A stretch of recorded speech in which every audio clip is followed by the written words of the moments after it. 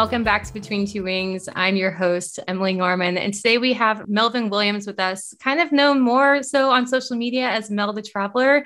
He is a maintenance instructor at Delta for the 737 NG. He's also a flight instructor, and he's one of the most fun aerobatic pilots to watch and follow along with on social media. So, Mel, thank you so much for taking the time to chat with me today.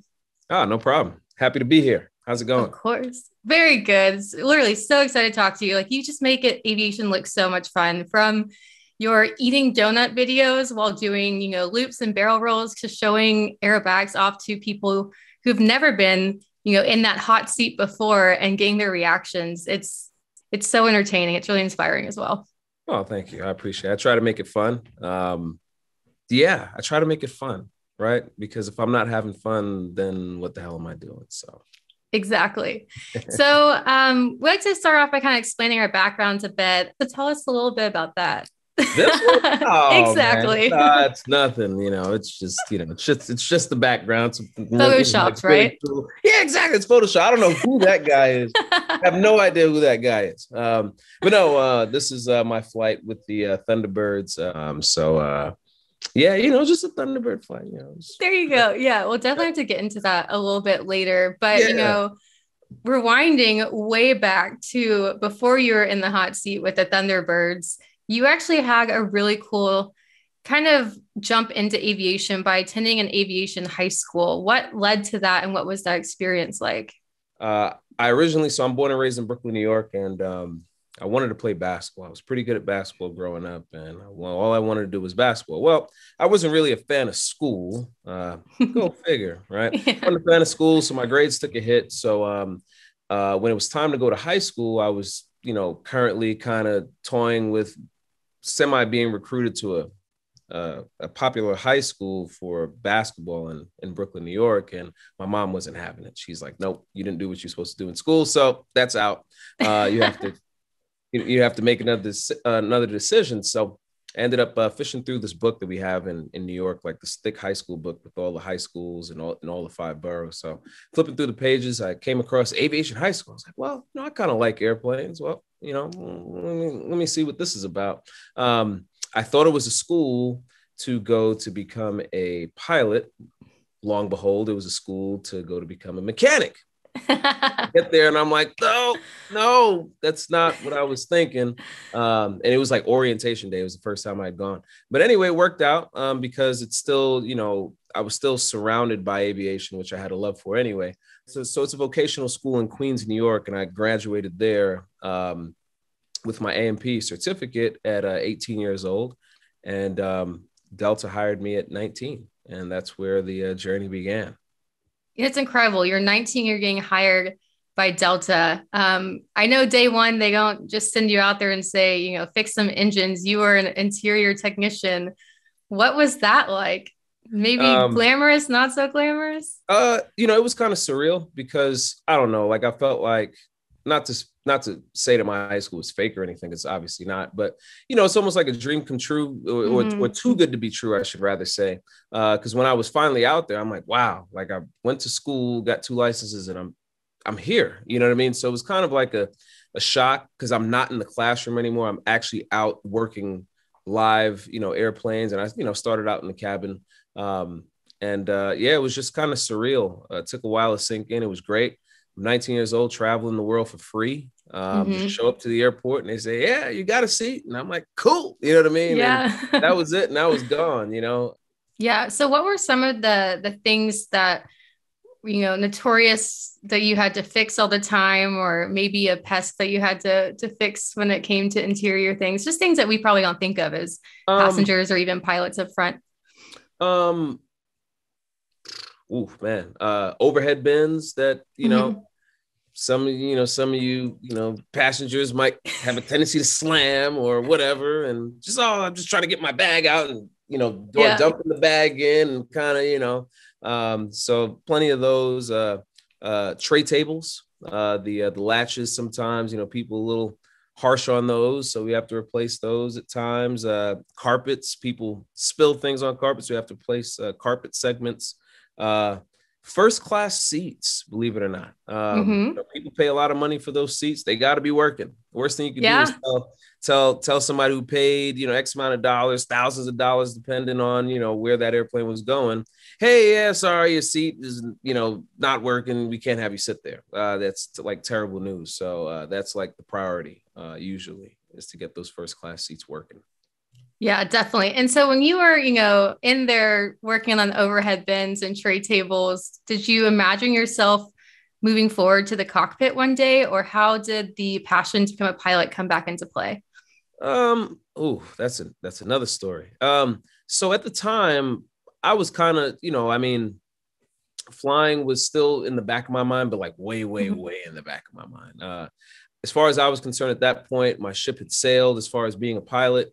Um, I was making good money as a technician. I was like, cool, this is where I'm at. This is where it's at. So this is where mm-hmm. I'm going to stay. Um, so the pilot thing actually came about. Um, fast forward, like really fast forward from 2007 when I got hired uh, up at JFK to uh, down here in Atlanta. Uh, it was about 2000, had to be 2016. Um, I walked into a MD-88 cockpit, and uh, there was a a pilot by the name of Dave Buck uh, Dave and I are good friends now. And I walked in. I said, "Excuse me, sir. I heard you call maintenance or whatever the case is. How can I help you?" He turns around and goes, "Wow, you're a young-looking guy. You ever thought about flying?" Just like that. Never met this guy day in my life. Um, and I said, looked at him and was like, uh, "Yeah, no, uh, you know, that ship was kind of sailed." Um, no, and he was like, "Nah, man. You know, a lot of us gonna be retiring soon, and you know, there's gonna be a huge hiring surge. You need to be a part of that. You know, jump on board if you're ever thinking about it. You know, just do it. Uh, yeah, whatever. So I kind of blew him off, fixed his problem, and you know, off he went.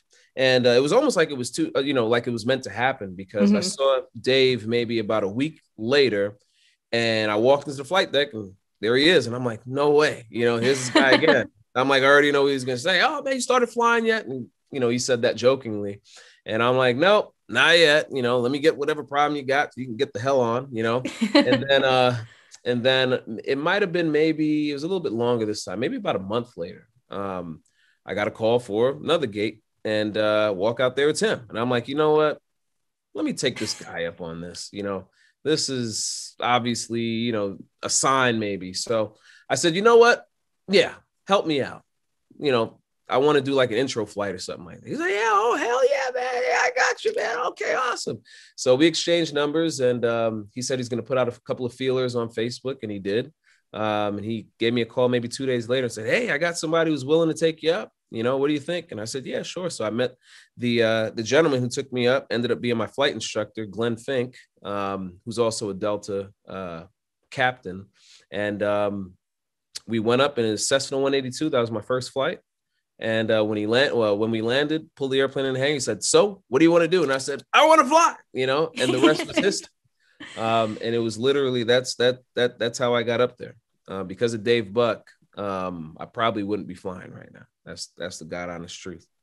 Yeah, that's an that's an incredible story, and that's a really good connection that you and Dave are gonna have. You know, for the rest of your lives, essentially. And yeah. then he got to stop making up excuses to call maintenance to pursue like to make you fly. Exactly. so it's a win-win. right, exactly. And so I know now you are a maintenance instructor at Delta. Uh, what does that look like? Uh, that's the best job in the world. Um, and uh, I'm, you know, sounds cliche, but it's truth. I'm enthusiastic with my words. I like to have fun, and I can't believe they pay me to stand in front, stand in front of a group of people, and I get to talk. It's great. It's like, it's like the best thing ever. Like, what? You're going to pay me to go have fun in front of a classroom and teach at the same time? It's like, you know, you can't beat it.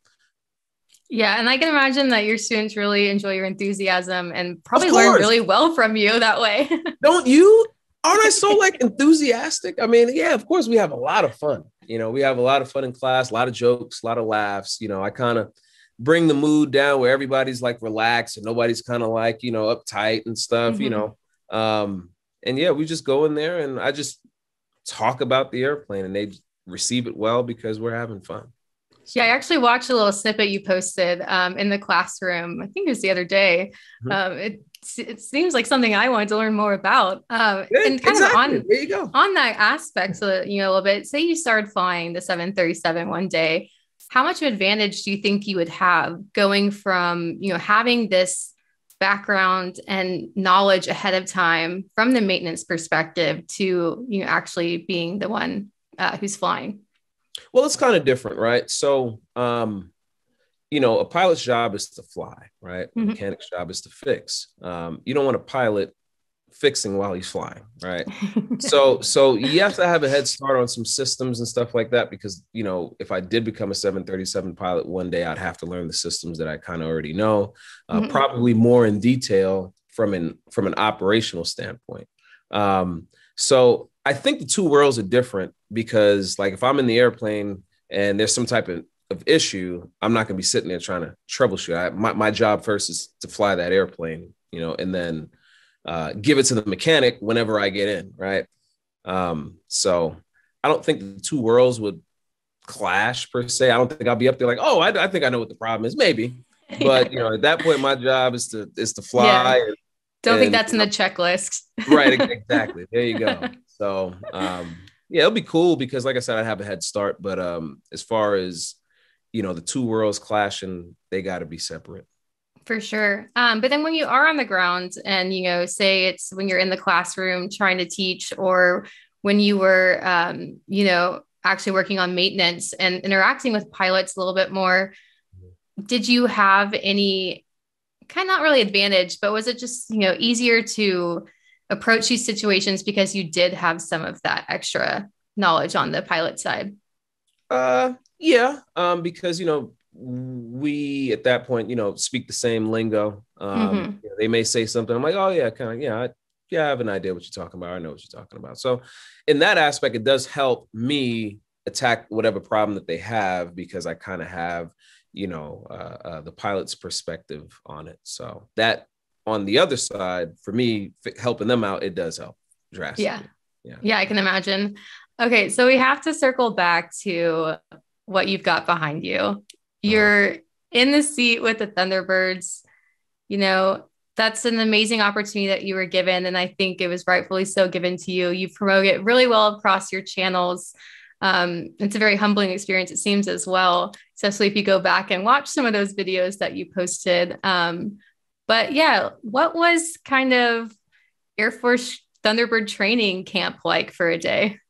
Uh, it was uh surreal. Um, it's like living a dream. Um, you know, I'd always been a fan of the uh, the team. Um, you know, I'd posted a picture of me as a kid when my mom took mm-hmm. me. Um, you know, I forget how old I was. I think I was like 12 or yeah, I think might have been 12. And I think it was right before high school. So probably 12 years old or so. And uh, we were out there in Vegas and, you know, she took me to the uh, Thunderbird facility. And uh, yeah, it was just a crazy experience. Um, you know, I was again always in the aviation, and that was like the pinnacle. Like these jets, they make a lot of noise, they look cool, you know, cool paint jobs and stuff like that. People have their name and numbers. You know, I thought it was you know really dope. Um, so now to come full circle and actually be a part of it, um, it didn't feel real until I started the takeoff roll then I was like, "Oh crap!" You know, not even when not even when the canopy closed. When the canopy closed, I was like, oh, "Okay, cool." You know, uh, waving everybody and stuff. And then you know, it wasn't until I felt that thing moving, and I was like, "Wow, okay, this is actually happening now." So mm-hmm. it was uh, it was cool. You know, um, you get there, uh, you meet up with the doc. Um, you know, he kind of does a little medical background, make sure you're good, teaches you how to breathe, uh, how to, you know, put up with the G's, and um, and then um you throw on the flight suit, you know, you get fitted for your G suit, which wraps around your legs and inflates and stuff like that, plugs into the airplane. Um, your helmet, um, you know, throw on the boots and all that, and then uh, you get briefed by uh, the uh, the pilot. Shout out the Flack. What's up, Flack? Um, uh, number eight. Um, and uh, yeah, he took me up. So he briefed me, showed me the practice area, what we're gonna do, and so on and so forth and um, had to get like uh, egress emergency training. Um, um, you know what happens if you have to eject and the parachute, how to operate, and what you. had to. it was a lot um, for sure. Um, and then uh, go out to the jet and take a couple of pictures and all that good stuff, and then get strapped in. Um, so it was uh, it was quite the experience.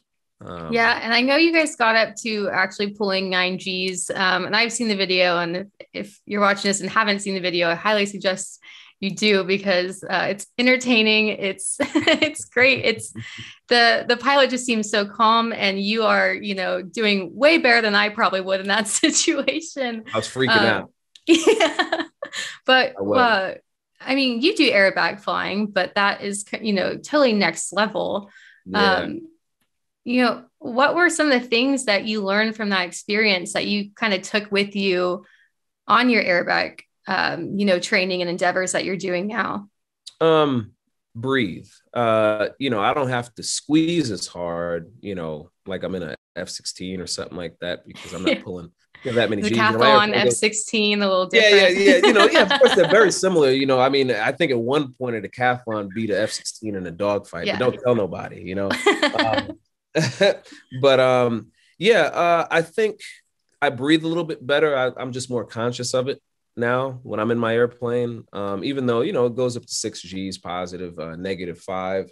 Um, you know, I feel like I wasn't breathing as much as I should be um, before, and I'm not doing the whole strain and all that, you know. but but I am I am breathing a little bit different, and I think it does help me out um, in the airplane, conserve some energy, and you know, so because when I wasn't breathing well, at least I thought I was doing what I, yeah, anyway. But mm-hmm. um, I'd end up like more tired after a session. Um, so when I started breathing a little bit better, um, I'd still be tired, but not as much. So I know that, you know, whatever I was doing, you know, had a, had some type of effect. So, yeah, definitely. I mean, you kind of learn getting the inside lesson from the pros there um, to kind of take with you. So that's that's definitely yeah. incredible. And exactly. what are you what are you doing in your aerobatic like ventures? I know that's more or less kind of a newer thing that you're doing. So I actually started competing already. Um, so I have I have two competitions under my belt so far. Um, I'm currently rebuilding my decathlon. Mm-hmm. So like I tore it all the way down to the bones, um, and I'm rebuilding it, new hardware, new wings, overhauled engine, new avionics, new interior, like the whole, the whole, the whole nine. And um, the goal is to continue to compete, get better, um, learn a lot. Um, I have some some new mentors that you know are helping me out, trying to help me navigate through the space. Um, and then when I get good enough, when that time comes, I'd like to you know get out there and potentially do some air shows and kind of see what that that world is like. Uh, take a couple of bookings and yeah, just go from there and continue to grow and you know increase my skill and you know try to win nationals and all that good stuff. So I have I have a laundry list of things I want to accomplish, um, you know, in the short and long term. Yeah, and it's funny you say that because in my mind you've already accomplished so much, and it's oh, it's no. just great to watch. And I, I, honestly cannot wait to see what you do next. I got a long way to go, but thank you. yes. Um, so I think you have a kind of interesting perspective because you're you've touched a lot of different parts in aviation you know, the maintenance and commercial side, um, you know, flight instructing, the airbag world, and then also just being your own student pilot and starting off, you know, without any of this experience. Is there anything that you can kind of collectively say about, you know, all those different parts of aviation? Uh, you know, the maintenance world is great. Uh, it's taught me a lot. I've learned, you know, a lot about commercial aviation because that's basically where my career started after uh, I got my A&P, and I I'm still in it. Been there ever since.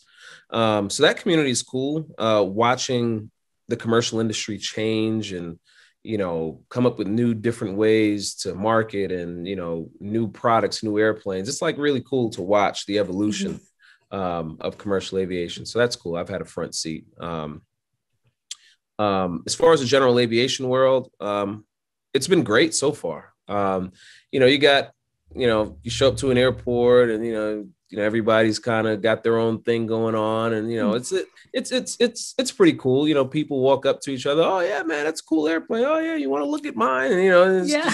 kind of going back and forth you know. Um it's uh you know it's like who's got the bigger engine kind of thing you know? Mm-hmm. uh, but um but it's you know it's cool. I i think the community is very helpful. I've made tons of friends um who have different types of airplanes, who are willing to do different things, who are willing to, you know, oh, you know, I've met some that live on airports. I didn't even know that was a thing. I didn't even know air parks were a thing. Um, you know, like, what do you mean you live on an airport? Yeah, you can drop in anytime. You know, I just walk out of my front yard and, you know, I'll come meet you. Like, huh? Like, you know, I didn't understand that until I started flying. Um, so now here I am looking for a community uh, of, you know, to, to live myself currently. So, um, I can move my operation to and you know live happily ever after. Uh, so um, yeah, it's been it's been great. Uh, it's it's really been great, and everybody's been extremely helpful so far, especially in the aerobatic community, because uh, that's a different, totally different ball game as it is. Mm-hmm. Um, but uh, you know those guys are so welcoming because it's such a small community and if they see you know you know somebody young who's enthusiastic you know who has a mission or a goal they're like willing to like almost drop anything or everything to help you out to you know kind of guide you the right way. So it's been really dope. Yeah that's something i've definitely heard about the aerobag community. Um, and my dad was a part owner at decathlon a long time ago and so oh, i did really? some intro yeah i did some oh, intro cool. and some spins and stuff uh, before i got my private. Yeah. And yeah if that if that plane was still around you never know we might be linking up one day. Oh man yeah. Oh wow yeah. yeah that's that's an experience that once you do it you're either like nope never again or yes let's let's yep. keep going yeah. let's keep going. going. exactly exactly yep i got the bug i got the yeah. bug mm-hmm. exactly i feel like you get the aviation bug and then you get the airbag bug like they're two separate things it's a progression oh, yeah. definitely and honestly how i got the aerobatic bug you know real quick i was uh, at the airport and um uh, my flight instructor was out there. This is after I got my private, and he's pulling his RV8 out, and he's like, "Oh, what are you doing?" I'm like, "Nothing." He's like, "Oh, you want to jump in the back? I'm just gonna buzz, you know, buzz the area." I'm like, "Yeah, sure." So um, I didn't know that this was gonna happen. So he's like, uh, "You know, have you ever done an aileron roll before?" I'm like, "No." He's like, "Well, let me show you." So you know, he pitched the nose up and just throws it over. I'm like, "Wow!" You know, and I, I still have the video on my phone. You know, the moment that that happened, and um, and uh, so he's like, "Oh, you want to try it?" I'm like, "Yeah, sure." So he told me what to do. Push the nose up, just go for it. You know, go full left, and that's what I did. And I was like, "Wow, I want to do more." You know, and that was it. And then it was almost like everything started clicking. You know, on Instagram, I found a you know a guy who became a friend of mine, uh, Anthony Oshinuga, who's you know African American aerobatic pilot out west in San Diego. So I became a fan of his, and I was you know picking his brain on how to do certain things, and then at home watching ESPN on TV, I see crazy small airplanes flying in between pylons, and mm-hmm. you know, mm-hmm. then I stumbled upon Mike Goulian. Like, who's this guy? You know, okay, he's an American and he flies a cool airplane. He's got a little bit of swag and greased hair and stuff like that. cool guy, you know. Ended up, you know, and Mike and I are fantastic friends now. So uh, you know, he's mentoring me. I hit him up all the time. He gives me tips, and it's just like it's just so crazy, like to see where this aerobatic journey started to where I'm at, you know, and who's like guiding me along this way. It's like I got some really, really, really, really good people, you know, in my mm-hmm. So I'm just trying to, you know, do it the right way and make them proud. So yeah, and that's something like just sitting here talking with you, um, it just kind of reiterates the fact that mentorship in aviation is so huge. Um, you know, if it wasn't for that Mr. Buck, that Delta pilot, or you know, people along the way, um, and GA and, and aerobatics, like we're all we're all here to help each other out, and it's just great, a good sense to know that we're involved in a community that is actually willing to do that and will go out of their way to do that. Correct. Yep. You ain't lying. That's for sure. Yeah. and so I know you, uh, you know, you have a big following on Instagram. We kind of chatted earlier about how you like to inspire people to get into flying, you know, keep it fun, keep it fresh, and just you know, enjoy this incredible thing that we all have in common. But what are some of your bigger goals uh, that you like to achieve with your channel? Um, I'd like to really, so, you know, I think um, I'm doing what I originally started or wanting to do uh, in the, uh, you know, in the social media world, uh, which was, you know, bringing just a different perspective uh, to flying, um, because, you know, in, you know, in my community, like the African American community, like you just don't see it. You know, I mean, it's, it's, it's not spoken about. It's not talked about. It's not a thing. It's not a, I want to do this one day, you know. So I was lucky. I was one of the lucky ones to really follow through and have a dream and, you know, you know, see it out.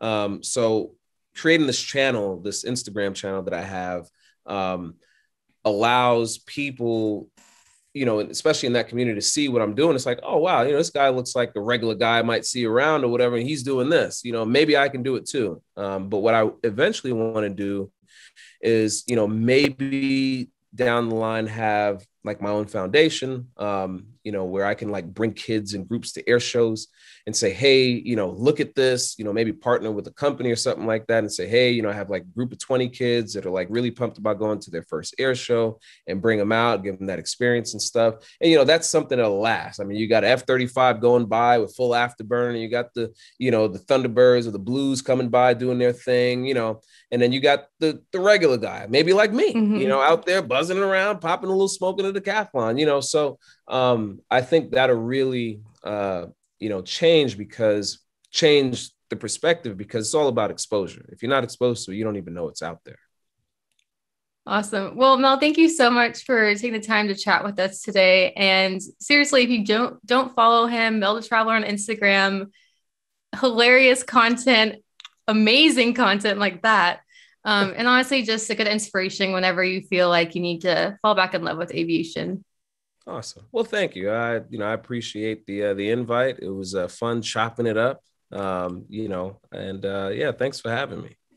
Of course. And everyone, thanks so much for tuning into this episode between two wings.